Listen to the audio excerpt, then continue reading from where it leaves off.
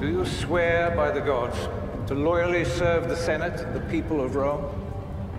I swear by the gods to loyally serve the Senate, the people of Rome. Caesar brought Crassus and Pompey together to advance his own career.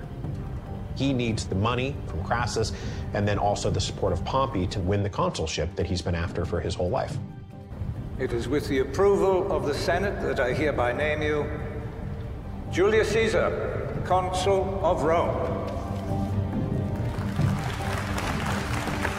So that the three of them can then go forth and dominate Rome as no three men had ever dominated Rome before. But within a year, everything they've built will begin to collapse. And Julius Caesar will find himself on the front lines of the biggest war Rome has ever known.